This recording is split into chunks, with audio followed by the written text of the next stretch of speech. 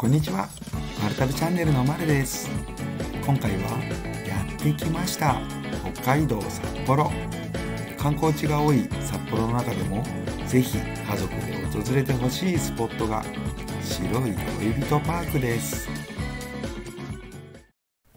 白い恋人パークは石屋商事株式会社が運営するテーマパークで北海道を代表する名家白い恋人。の工場でもあります。最寄り駅は地下鉄東西線の宮の沢駅。そこから徒歩7分です。ただ7分といっても道路に雪が降り積もっていればかなり歩きにくいのでもう少し時間がかかるかもしれませんね。まずはチケットセンターに向かいます。繁忙期は入場制限がかかることもあるようですね。事前予約は必要ないみたいです。ただ入館チケットの事前購入が可能なようで予約購入された場合にはオンラインチケットの優先列に並んで優先的にチケットを受け取ることができます。これは嬉しいですよね。もちろん私たちもオンラインチケットを事前ゲットしていきました。入館料はこんな感じになっています。まずはチョコトピアハウスから見て回ります。ここはカカオからチョコレートができるまでを紹介しています。私たちが訪れた時には各部屋で様々なイルミネーションが施されていてフォトスポットがたくさんありました。通常は博士やその助手と共にチョコレートの四大革命を知るタイムトラベルツアーが開催されているようです。ツアーではこの他にも博士が大切にしているマイセンのチョコレートカップ、花尽くしなど貴重なアンティークの数々が展示されたコレクションルームも見学することができます。チョコレートの幸せな魔法にかかる時空トラベルにぜひ参加してみてください。この時はイベント開催中だったのでツアーはやっていませんでした。次回はこのツアーにも参加してみたいと思います。なんか奥に額縁みたいなものがあるなーって思っていたらそこに行って写真が撮れたんですね。子供たちもノリノリでポーズをとってくれました。ちなみに最初の部屋のイルミネーションが白色だったのは白い恋人のホワイトチョコがモチーフになっているから。って話は聞いたことがないので定かではありません。続いて2階に上がっていきます。この階段の雰囲気もアンティーク感があるというのか。チョコレート色というか高級感があります。少し暗めなのもワクワク感を出してくれますね。2階の最初の部屋はなんともカラフルなイルミネーションが部屋の要所要所を彩ってくれています。ここに飾られているアンティークな展示品は本物なのでしょうか？またどれくらいの価値があるのでしょうか？知っている方がいらっしゃいましたらコメントで教えてください。っ。ていってるうちに新しい部屋に入りました。こちらはグリーンが基調のイルミネーションが施された部屋です。この部屋はツアーが開催されている時には天井にプロジェクションマッピングが映し出されるアトラクションが行われているようですね。この部屋は階段を上がって上に登ることができます。反対側からも見ることができ中央の作品を360度から見渡すことができるようになっています。角度や高さを変えるとまた違った美しさが見えてきます。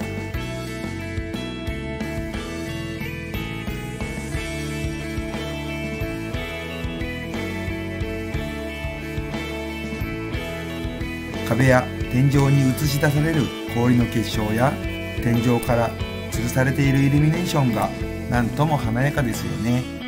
中央の噴水から流れ出る水と光のコラボレーションが何とも見入ってしまいますね。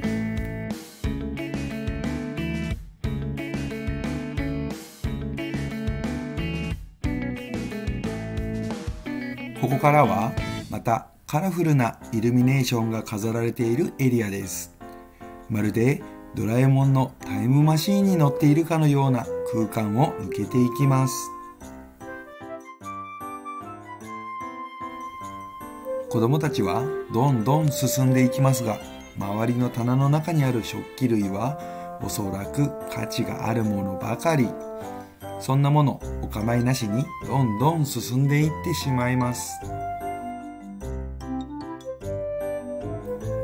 私も見たいと思いながらも子供たちを追いかけていったのであまり見ることができませんでした。おここにも新たなフォトスポットがあるではないですか。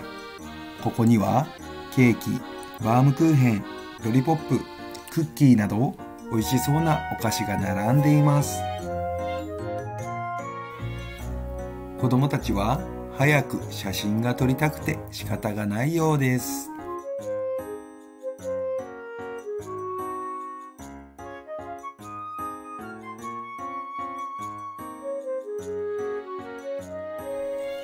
よーく見ると白い恋人もありますね。さすがに外せないですよね。さあ次はどんな部屋なのかなと期待を膨らませて歩いていきましたがどうもこっちは順路ではなかったみたいですね。元の道に戻っていきます。戻ってきたタイミングでちょうどパシャ写真を撮っているところでした。次に進む道はこっちじゃないみたいやで。って教えてあげてまっすぐ進んでいきます。壁に猫の絵で案内が書いてありましたね。なぜ白い恋人パークには猫の絵がたくさんあるのか。それは動画の中盤で説明しているのでぜひチェックしてくださいね。あ床にも猫の足跡で進み方が案内されています。これは可愛すぎる。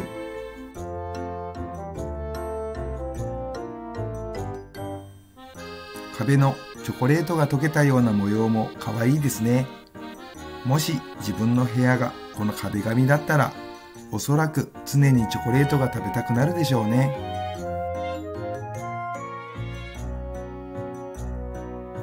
ここからはチョコトピアファクトリー白い恋人とバームクーヘンの製造ラインが見学できます。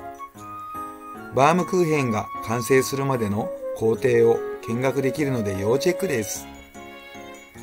白い恋人がすごいスピードで包装されて箱に入っていくのは圧巻です。また、本日の製造個数が工場内のモニターで表示されているので、どんどん増えていく数字に驚きます。子供たちも食べたことがあるお菓子が目の前で作られて包装されていくので興味津々。こんなにたくさん製造されているのにどんどん売れていっているって白い恋人って大人気なんだなーって思いました。まああれだけ美味しければみんな買いますよね。通路の天井にはブルーのイルミネーションが施されていて私たちを案内してくれます。また反対の壁には白い小人たちが白い恋人を製造するジオラマもあり可愛い仕掛けもあるので子供たちも退屈知らずです。通路にあるモニターでも製造過程の映像が見られるのでどうやって出来上がっていくのかがはっきりわかります。あ見えてきました。ここは外せないフォトスポット。おなじみの緑の包装紙に入った白い恋人。他の観光客もやはりここで記念撮影をしたいみたいです。さっきまではかなりの人が集まっていましたが少し空いてきたところでここがチャンス。バッチリ写真撮影を行うことができました。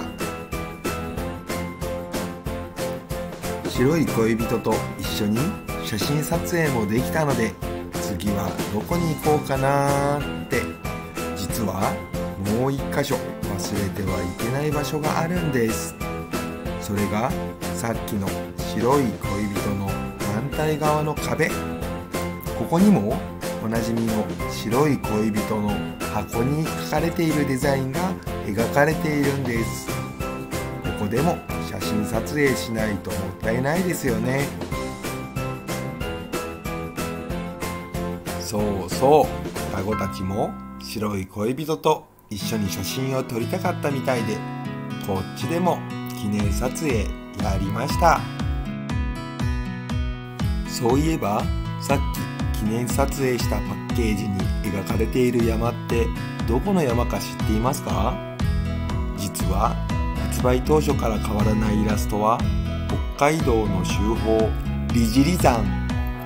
スイスの山並みのようなその風景にヨーロッパ風のお菓子作りを目指していた思いそして北海道への愛を重ねたデザインにしているみたいです。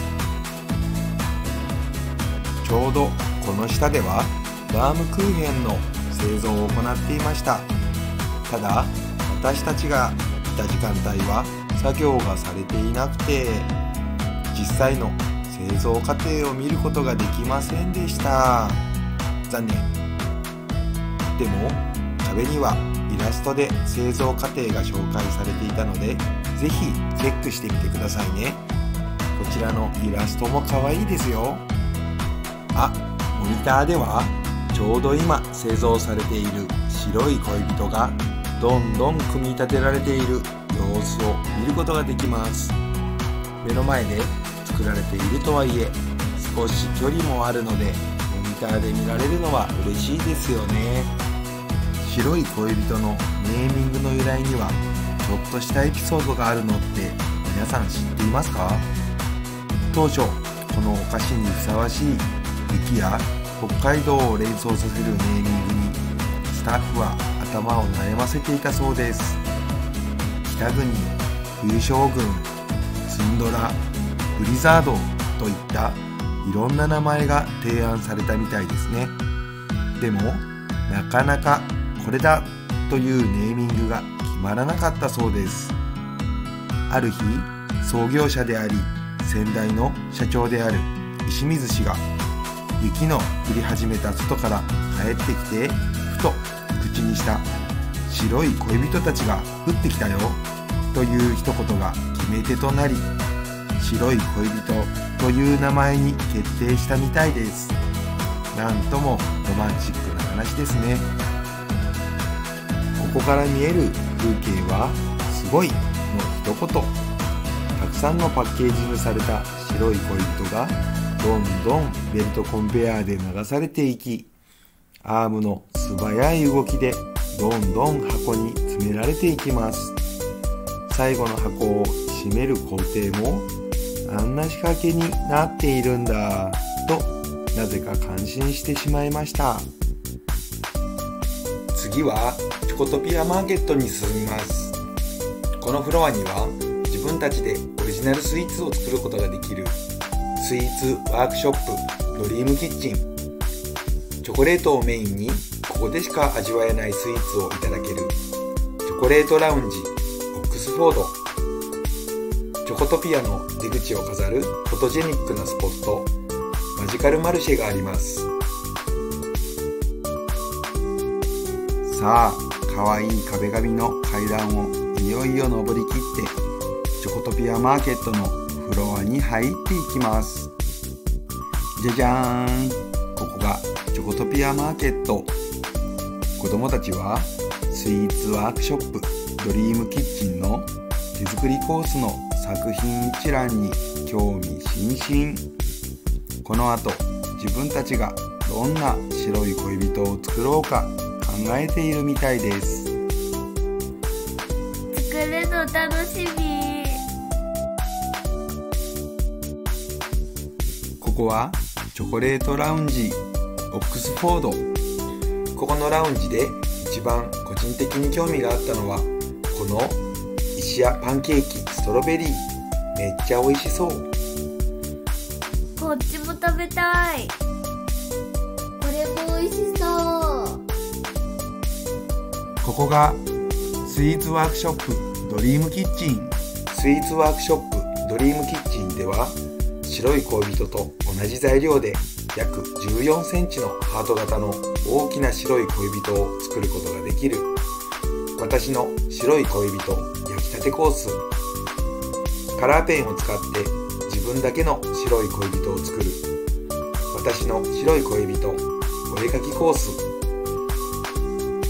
チョコレート好きにはたまらないパイサンドを作ります。チョコレートパイサンドコース。どれも魅力的でしたが子供たちはお絵かきコースを体験しました。その様子は動画の後半でお伝えしますね。目の前で大きいハート型の白い恋人を作っていました。手際の良さにうっとりラングドシャに挟まれるホワイトチョコが羨ましい。ここはマジカルマルシェ。チョコトピアの出口を飾るフォトジェニックなスポットです。ここにはいろいろな撮影スポットが用意されていてマジックアートによってティーカップに座っているように映せるスポットや猫のキャラクターのプルミとラムルが実際ベンチに座りながら近づく2人に合わせて画面上で動いてくれるカップル向けのコーナーもあります。私たち家族は双子の姉妹でやってくれました。最初はどうやっていいのか分からずに右往左往やったー。ラブラブ。2人とも大喜び。めちゃくちゃテンション上がっていました。次は塔が変わってチュダーハウスに移動します。階段を降りて3階から2階へ移ります。階段を降りるとこは石屋ミュージアム。ここは石屋製菓の歴史を見ることができます。子供たちにも興味が湧くようにいろいろな仕掛けがあります。例えば先ほどマジカルマルシェで出てきたプルミとラムル。なぜ猫のキャラクターが使われているのか知っていますか？実は白い恋人にはラングドシャが使われているのですがこの意味がフランス語で猫の舌という意味があるみたいなんです。ラングドシャは薄くてザラザラしているのでその名がついたようなんです。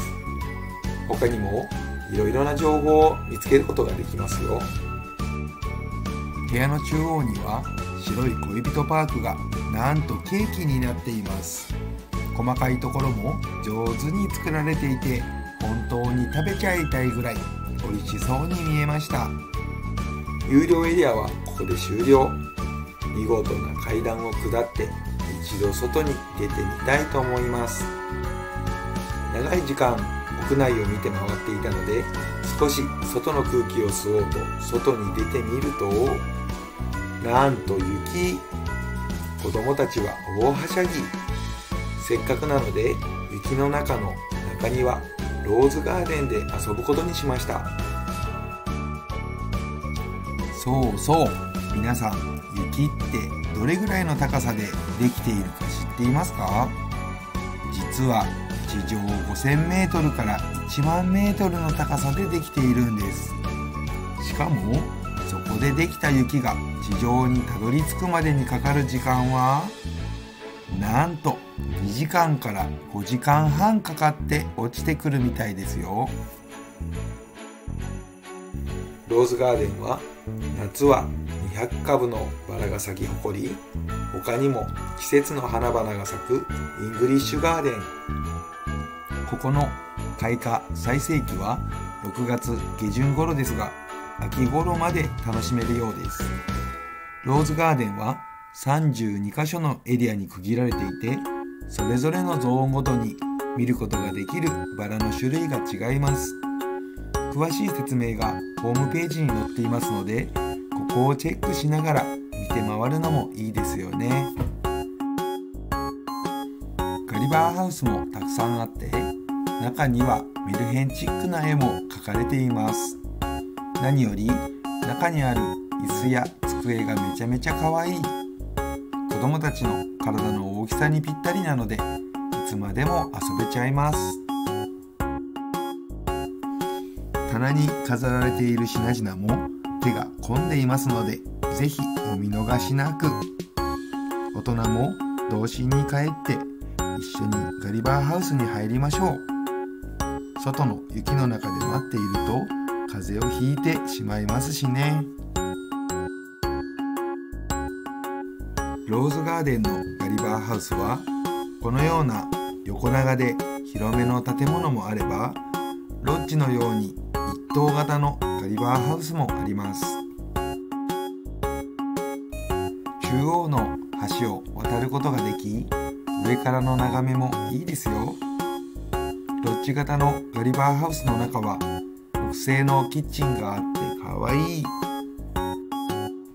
子供たちもめっちゃ食いついていました。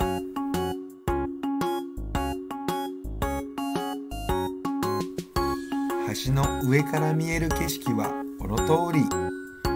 あまり雪が積もらない地域に住んでいるのでこういう雪が積もった中で遊ぶ体験は本当に貴重で大事だと思います。大人も子供たちもテンション上がってしまいますよね。雪化粧されたローズガーデンもこれはこれで綺麗ですよね。この場所も夜になるとイルミネーションが輝いて本当に綺麗です。夏はバラに囲まれて冬は雪と光に包まれるローズガーデンは白い恋人パークの中でも四季を通じて楽しめるスポットだと思います。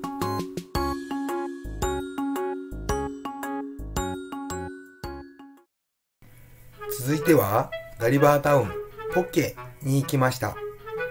私たちはビーズのキーホルダーを作れるイベントを開催していたのでそこに参加しました。じ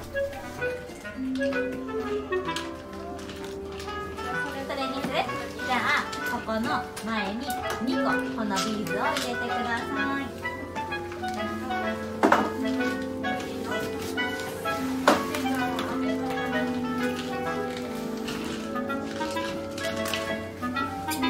双子の娘たちはしっかり説明を聞きながら可愛いキーホルダーを作っていました。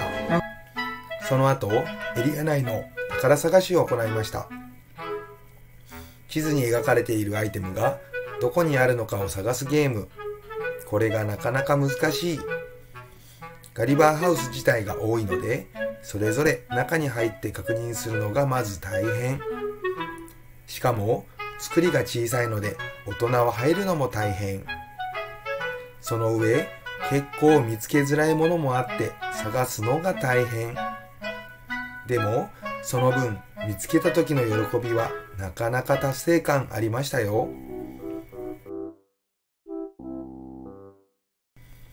ここは小さなお店やお家が立ち並ぶ子供の街。リアルなおままごとやゲーム。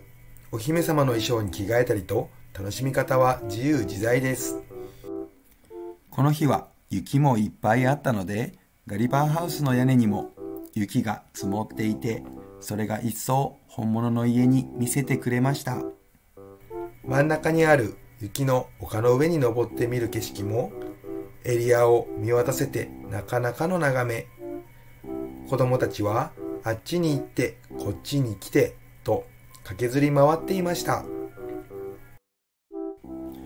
これだけいっぱいガリバーハウスがあってそれぞれ建物の内装やテーマが違います。私も途中であのツリーがあった建物ってどこだっけ？って迷子になってしまいました。あこの今立っている雪の丘ですが夏に来ると広場になっているみたいで丘みたいなものはないみたいですよ。ただ残念ながら現在は冬の期間はガリバータウンは休止期間になっているようです。今年はこの景色は見ることができないみたいですね。そうなるとこの映像は結構貴重なものになりますね。是非この動画で雪の中のガリバータウンを思う存分見ていってくださいね。ここはレストランみたいです。中に入るとテーブルや椅子が置いてありました。壁に飾られている黒板やポスターも可愛いですね。レジスターもケーキみたいですね。壁には本格的なポスターも飾られていて本当のお店みたいです。子供たちもあっち見てこっち見てと大忙し。この部屋には美味しそうなケーキがいっぱい並んでいました。ここでの注目ポイントはガリバーハウスの中の装飾が本当に細かい。実際小さな人たちが住んでいるかのような作りになっています。一旦この部屋を出て違う建物に行ってみたいと思います。ここはタウンホール。中には人工芝が敷き詰められていて子供たちが遊べるようになっています。ハンモックやテントボールやゴール電車などさまざまな遊び道具が置かれていました。あこの右の部屋でキーホルダーを作りました。この時服についた雪の結晶がきれいに見えてみんなびっくり。どれがきれいな結晶か比べ合いをしました。ここはおもちゃ屋さん。本当にいろいろなお店や施設があって一つの街になっています。ガリバータウンでは衣装も借りられるようなのでぜひお子様と一緒に遊びに来てくださいね。外で遊んだ後は再びチュダーハウスに戻ってきて2階にあるカフェバトラーズワーフに行きました。ここのお目当ては何と言っても白い恋人ソフトクリーム。北海道産の生乳と白い恋人のチョコレートを合わせることであっさりとした中にもコクのある味わいに仕上がっています。私たちが購入したのはレギュラーサイズではなくジャンボサイズ。これほんま一回食べてみて。コーヒーには白い恋人がついてきました。さあいよいよ今回の目玉企画オリジナル白い恋人。スイーツワークショップドリームキッチン。まずは調理会場に向かう廊下で並びます。子供たちもちょっと落ち着かない感じがしますね。入り口で体についたホコリを取るために全身エアシャワーを浴びます。中を通るときはすごい音がしています。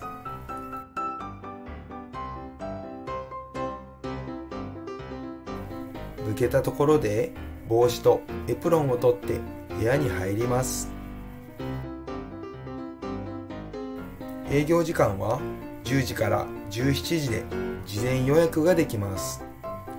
繁忙期は予約必須なので早めに申し込みをしておきましょう。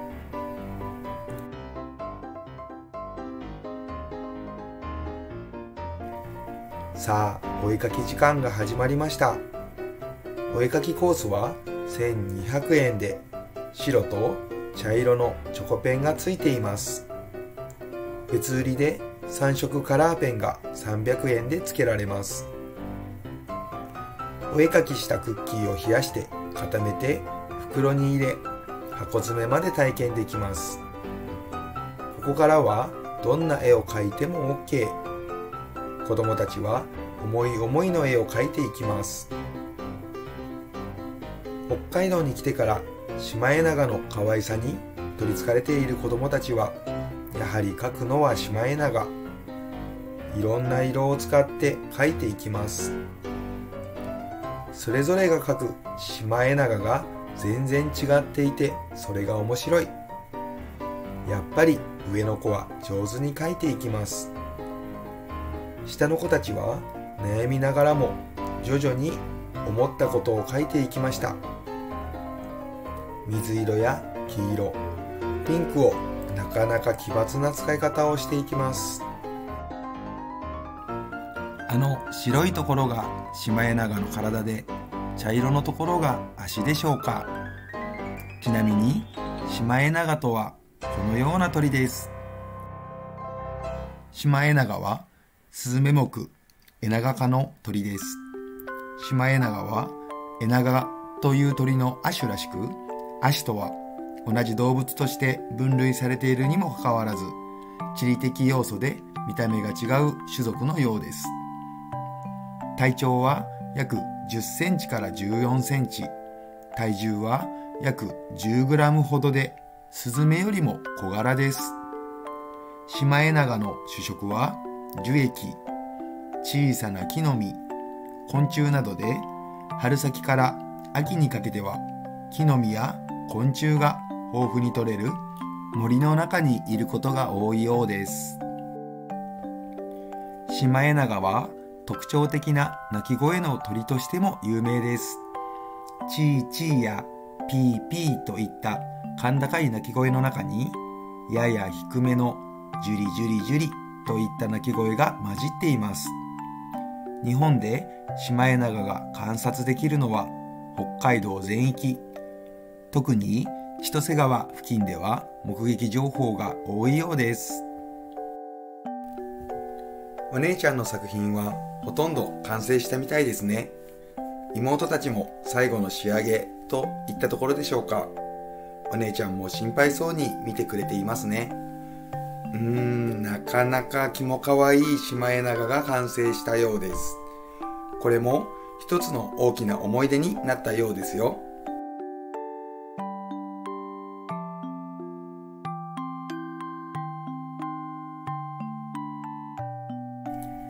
完成しました。あとは冷蔵庫で少し冷やしてからパッケージングを行います。おなじみの緑の袋に入れていきます。ここでもせっかく作った白い恋人を壊さないように慎重にゆっくりと入れていきます。さすがにここで割れちゃったらショックですもんね。結構ぴったりなのでチョコで描いた絵が入り口で引っかかって取れちゃわないか心配になってしまいます。あまり高く絵を描くと入れにくいかもしれないですね。スタッフの方も優しく声をかけてくれていました。お上手に入れることができたようですよ。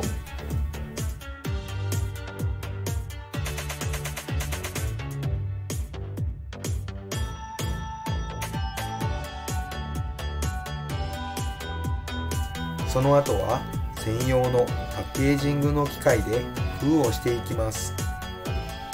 このベルトコンベヤーに乗って自分のところに運ばれてくるオリジナルの白い恋人を大事そうに受け取ります。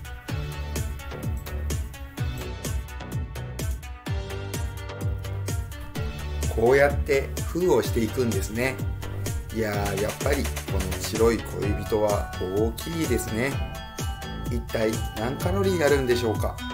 いやいや今はそんなこと考えないようにしましょう。こうやって手を出して待っている姿が可愛い。ものより思い出って言いますけど物は手に入れた瞬間が最高で徐々に幸福感は低下するらしく思い出は時間が経てば経つほど貴重で大事なものになるって言いますよね。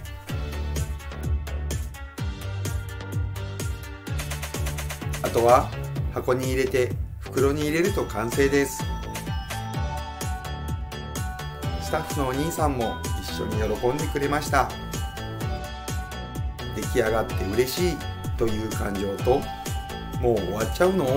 という少し寂しい感情が入り混じります。最後はからくり時計で締めたいと思います。毎時0分に約10分間入り口の門の近くにあるからくり時計塔で行われます。実はからくり時計塔だけではなく周辺の建物でもからくり人形が出てくるのでそれもお見逃しなく。ほとんどの方は下から見られるのですが実はからくり時計塔を真横から見られる場所がここ。どこかわかりますか？実はチョコレートラウンジオックスフォード。スイーツをいただきながらゆっくり座って真横から見ることができます。パレードの登場人物は太鼓を持っているヒグマのトロン。シンバルを叩く単調鶴のロンジェ。ボールの上に乗っているオットセイのリーベ。ウサギのキトと牛のリリ。あとサッカー J リーグコンサドーレ札幌のマスコットキャラクタードーレくんもいます。北の国に住んでいるからくり人形の動物たちが愉快なパレードを繰り広げます。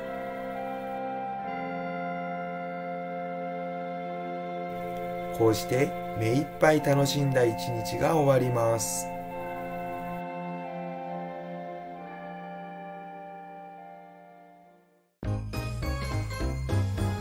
今回の動画はいかがだったでしょうか？